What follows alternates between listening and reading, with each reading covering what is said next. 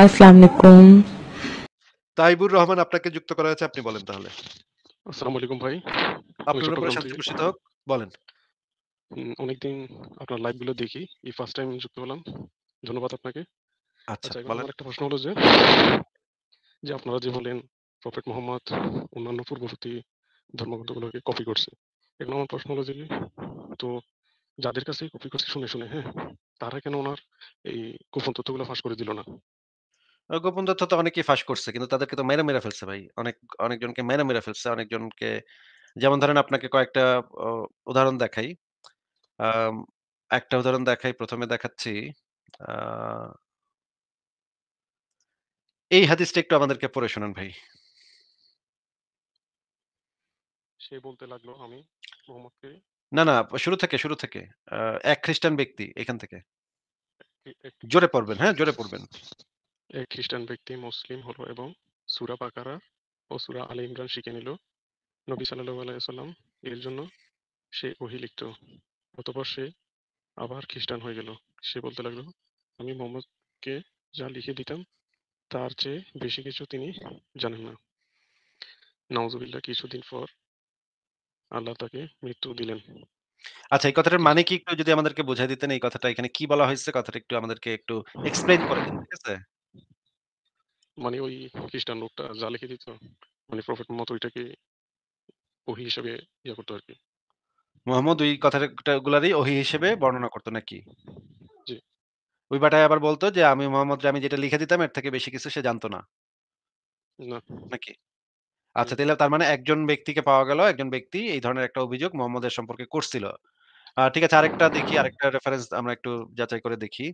এরকম এরকম রেফারেন্স আরও কিছু পাওয়া যায় কিনা? নাকি একটাই নাকি আরও ২-৪ টা আছে সেটাও একটু চেক করে দেখি। আ এইটা আমি দেখাচ্ছি।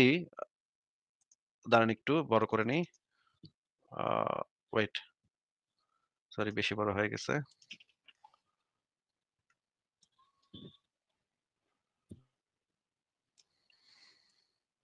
সহিহ হাদিসে বর্ণিত আছে। দাঁড়ান, দাঁড়ান এখন এখন না এখন না। একটু, একটু এটা আমি দেখাচ্ছি আল বা নিহায়া গ্রন্থ থেকে। আল বা নিহায়া গ্রন্থটার নাম তো শুনেছেন আপনি, তাই না? জি, জি, জি। এটা হচ্ছে আল্লামা ইবনে কাসিরের লেখা ইসলামিক ফাউন্ডেশন চতুর্থ খণ্ড পৃষ্ঠা পাঁচশো এগারো এখান থেকে আপনি একটু আমাদেরকে পড়ে শোনান তো এই যে এখান থেকে পড়ে শোনান একটু আমাদেরকে।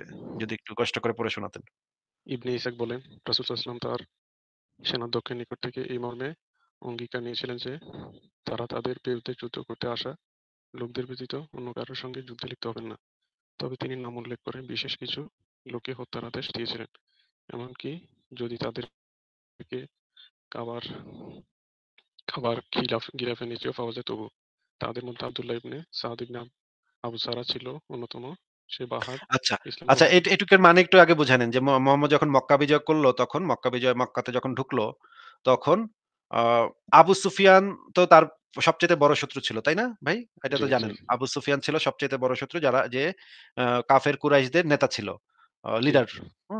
সেই আবু সুফিয়ানকে কিন্তু হ্যাঁ, হ্যাঁ, পরবর্তীতে সে ইসলাম কবুল করে।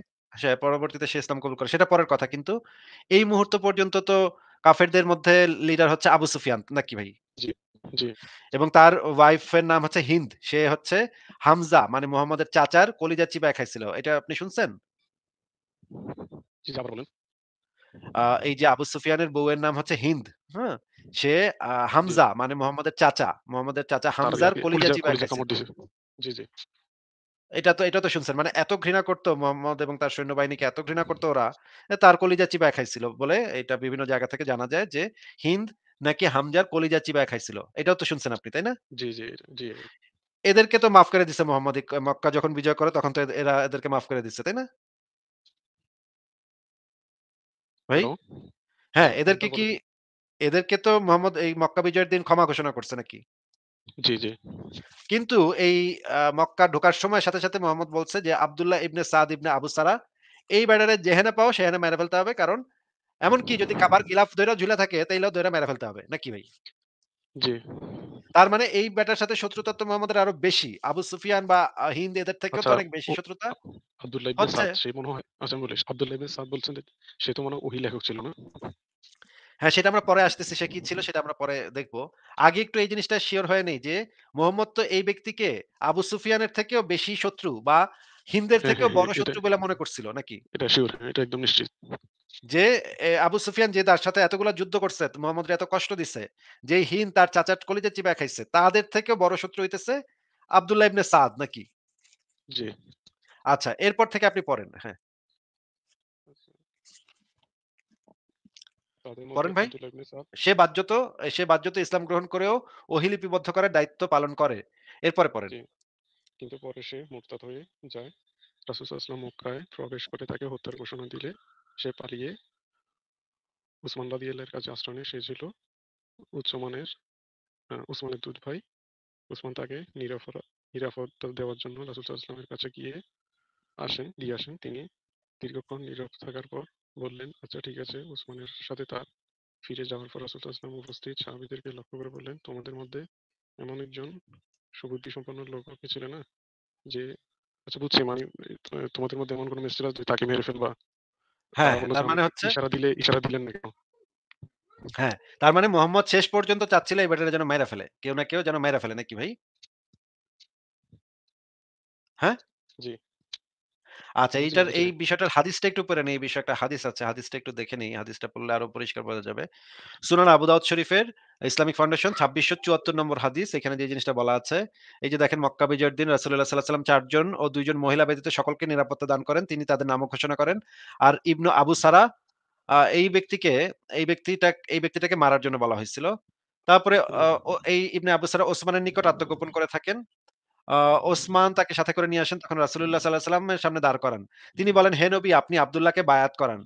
মানে নবীকে বলতেছে, "নবী এই আব্দুল্লাহ আবার কিন্তু ইসলামে ফিরে আসতে চাচ্ছে। হ্যাঁ? আপনি আবার আবার তাকে বায়াত করান। আবার ইসলামে ফেরত নেন।" তখন কি করল নবী একটু পড়েন তো ভাই। তিনি তার মাথা উঠান এখান থেকে তো। এবং তিনবার তার দিকে তাকান এবং তারপর প্রত্যেক প্রত্যেকবারই বায়াত করতে অস্বীকার করেন। তৃতীয়বারের পর তিনি তাকে বায়াত করান। পরে তিনি তার সাহাবীদেরকে বলেন, "তোমাদের মাঝে এমন কোন চালাক লোক কি ছিল না? যখন সে আমাকে দেখল যে আমি তাকে বায়াত করাচ্ছি না, তখন কেন সে তাকে হত্যা করল না?"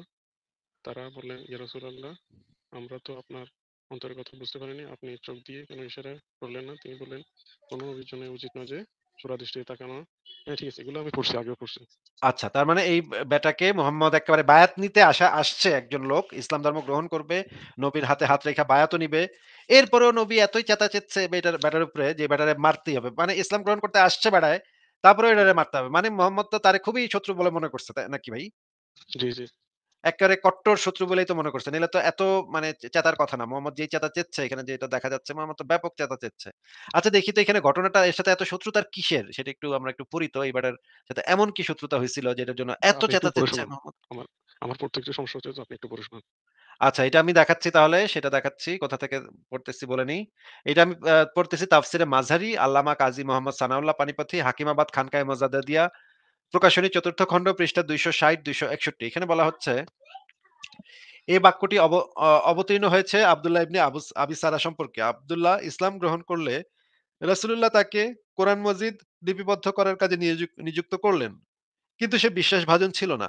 রাসূল যখন বলতেন, সামিয়ান বাসিরান সে লিখত, আলিমান হাকিমান। আবার রাসূল বলতেন, আলিমান হাকিমান সে লিখত, গাফুরুর রাহিমান।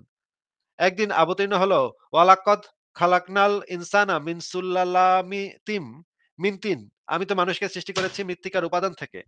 রাসূল সদ্য অবতীর্ণ আয়াতটি লিখতে নির্দেশ দিলেন। মানব সৃষ্টি সম্পর্কিত এই আয়াতটি খুবই ভালো লাগল আব্দুল্লাহর। সে হঠাৎ বলে উঠল, ফি তাবারাকাল্লাহু আহসানাল খালিকিন। আল্লাহ পাক কতই না সুন্দর স্রষ্টা। রাসূল বললেন, এই বাক্যটিও লিপিবদ্ধ করো। আচ্ছা, আচ্ছা এটা এটার ব্যাপারে আমি ওই মুশফিক মিনার আছে না? হ্যাঁ, এ উনার একটা আর্টিকেল পড়ছিলাম। এটাতে নাকি এই শানে নজরুল কত ভুল আছে। এটা দুর্বল। এটা নাকি দুর্বল দলিল। ভাই মুশফিক মিনার তো যেটা যেখানে সেটারই দুর্বল বলে। ও যে ওরে যেখানেই আটকাবেন বলবেন এই জায়গায় এটা কি এটা? বুখারী শরীফের হাদিসে সে দুর্বল বলে। হ্যাঁ, না দুর্বল বললে আমি কি করতে না পারি? এটা হচ্ছে সমস্যা হচ্ছে এটা মানে মক্কায় ঘটছিল না মদিনায় ঘটছিল এটার উপর একটা মানে ঘটনার প্রেক্ষাপটে একটু মানে ইয়া আছে। কন্ট্রোভার্সিয়াল বিষয়টা। তো তাইলে এই যে এই বর্ণনাটা এখানে আসছে কীভাবে তাহলে? তাফসিরে মাঝারিতে আসলো কীভাবে? এখন এইসব রেফারেন্স এর ক্ষেত্রে তো দুর্বল দলিল গ্রহণযোগ্য না। কে বলছে আপনাকে দুর্বল দলিল গ্রহণযোগ্য না? মুশফিক মিনার কত, কত দুর্বল বর্ণনা কে তার ওয়েবসাইটে লিখে রাখছে আপনি দেখছেন? আচ্ছা। আচ্ছা মানে যখন সুবিধা হয় যখন আচ্ছা, আচ্ছা সুবিধা হয় তখন যখন সুবিধা হয় তখন তো সে দুর্বল বর্ণনাই নিয়ে আসে। যখন সুবিধা আচ্ছা হয় না তখন হচ্ছে গিয়ে বলে আচ্ছা এইটা দুর্বল, সেটা দুর্বল। এখানে এটা আচ্ছা দুর্বলতা আছে। দুর্বলতা আছে। আচ্ছা আচ্ছা এই, এটা শেষ হোক, শেষ হোক, এটা শেষ হোক। এখানে দেখা যাচ্ছে এই বেটাও এই বেটার সাথে এত শত্রুতা কি ছিল? আচ্ছা আপনি একটু বলেন তো যে এই ঘটনাটা ছাড়া মোহাম্মদের সাথে এই বেটার আর কি শত্রুতা ছিল যেই কারণে মোহাম্মদ এত চেঁচাচ্ছে? একটু যুক্তি দিয়ে বলেন তো ভাই। না তেমন কিছু তো নাই। মানে মোহাম্মদের মানে আবু সুফিয়ানের সাথে মোহাম্মদের এত বছরের শত্রুতা। এবারের মাফ করে দিছে। মোহাম্মদ এত এইবারের উপরে এত চেতা চেচ্ছে যে এটারে ইসলাম কবুল করতে আসছে, বায়াত নিতে আসছে। ওসমান তারে নিয়ে আসছে বায়াত করাইতে। এ মনে, মনে কইতাছে এটারে মেরে ফেলানোর দরকার। এটারে কেন অন্যরা কেউ কেন মেরে ফেলল না এইটা নিয়ে মোহাম্মদ তখন সাহাবীদের একটা জারি দিচ্ছে যে, "তোমরা কেন?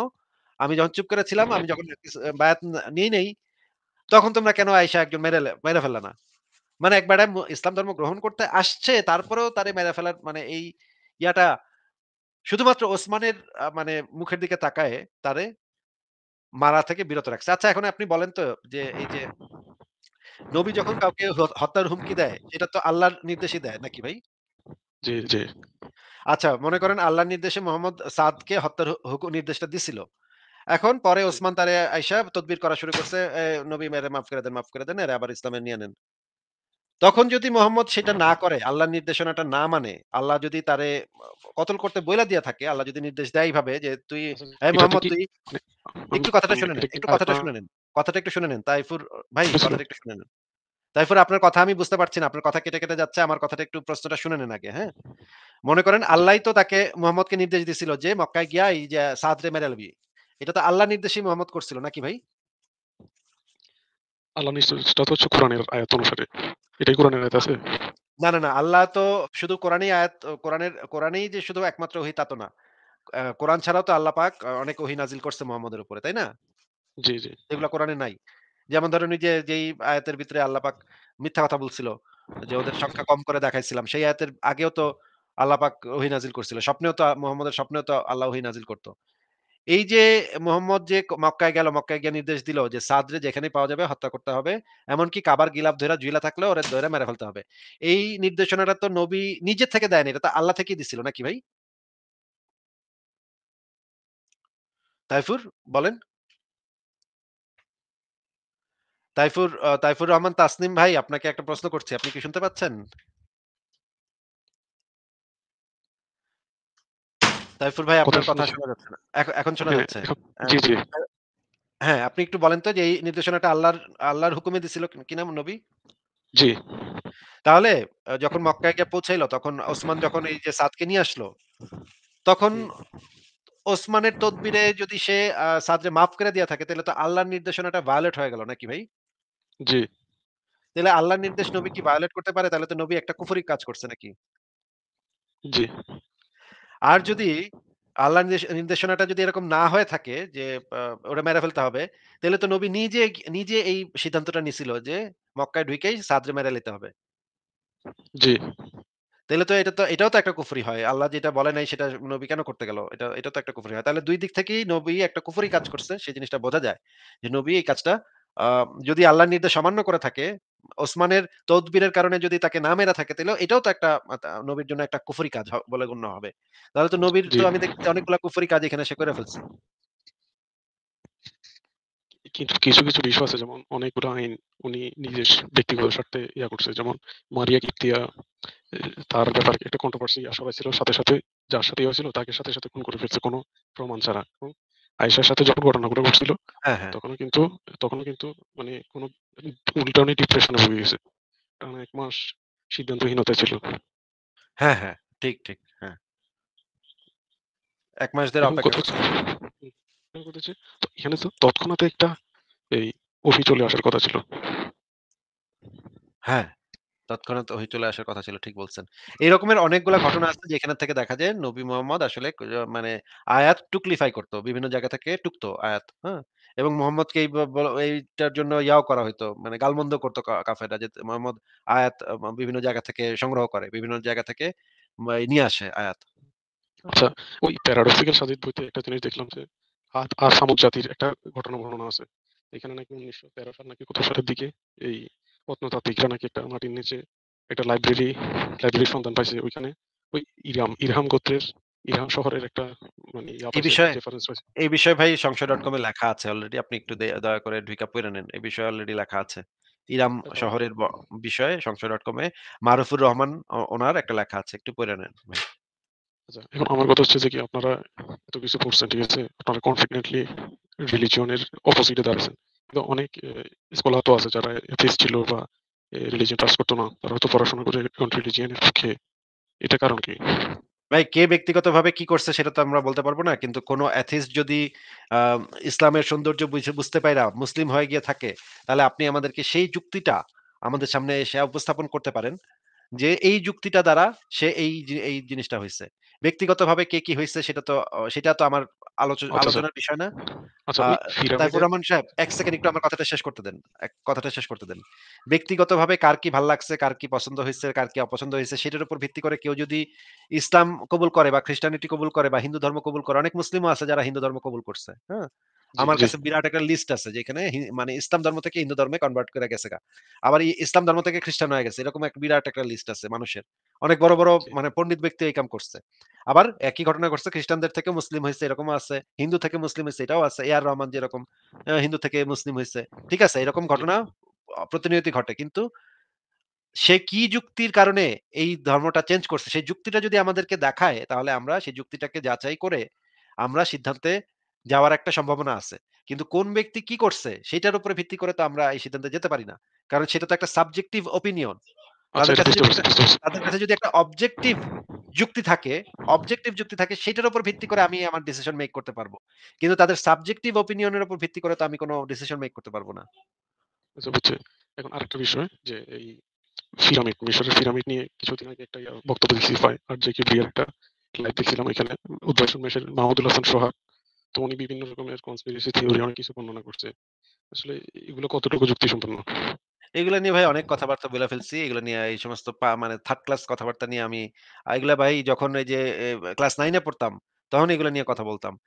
এই বয়সে যদি এখন সেই ক্লাস 9 এর বিষয় নিয়ে ক্লাস নাইন টেনে যারা পড়ে বা মানে সদ্য তো কিশোর হয়েছে বা সদ্য তরুণ হয়েছে এদের জন্য এগুলা চটকদার, এগুলা এদের জন্য এগুলা মজাদার। এগুলা শুনে তারা ওইখানে তো। ওইখানে হ্যাঁ? তো এই এই বিভিন্ন চিত্র মানে মাঠে ইয়াতে বিভিন্ন চিত্র আর্ট ভাই এই কনস্পিরেসি থিওরি কাকে বলে? একটু লিখে সার্চ করেন। ঠিক আছে? কনস্পিরেসি থিওরি কাকে বলে? একটু সার্চ করেন। যে কোনো জিনিস নিয়ে যে কোনো সময়ে যে কোনো মানুষ কনস্পিরেসি থিওরি দাঁড় করাইতে পারে। আমি একজন এলিয়েন আমি প্রমাণ করে দিতে পারব আপনারে। ঠিক আছে? আমি আসলে আসিফ একজন বুঝছি। এলিয়েন এটাও আপনারা প্রমাণ করে দিতে পারব। মানে আচ্ছা ত্রিভুজ ত্রিভুজ ত্রিভুজ আপনারা প্রমাণ করে দিব আমি হচ্ছে এলিয়েন। আমি এমনও প্রমাণ করতে করে দিতে পারব আল্লাহ পাক মারা গেছে গতকাল রাত্রে। ত্রিভুজ আইকা, চতুর্ভুজ আইকা, বৃত্ত আইকা আমি এদিক সেদিক কইরা প্রমাণ করে দিতে পারব। এগুলা ভাই খুবই 3rd ক্লাস জিনিস। এগুলা নিয়ে আমি আলোচনা করি না। আচ্ছা আরেকটা বিষয় যে এই রোজার মধ্যে প্রায় ১ থেকে ২৮ পর্যন্ত প্রথম ২৮ টা সূরা মানে আমি আরবি প্লাস বাংলা ২ টাই পড়ছি অনুবাদ। এখন মানে এখানে তো ধারাবাহিকভাবে দেওয়া নাই। মানে প্রেক্ষাপট অনুসারে ধারাবাহিকভাবে একদম A to Z মানে ১ম ইয়া থেকে মানে মনে করেন ৪০ বছর বয়স আসছে। ১ম আয়াত ৪০, ৪১, ৪২ এভাবে করে ৬৩ বছর বয়স পর্যন্ত ধারাবাহিকভাবে মানে কোনটা জানার জন্য কি বই পড়ব?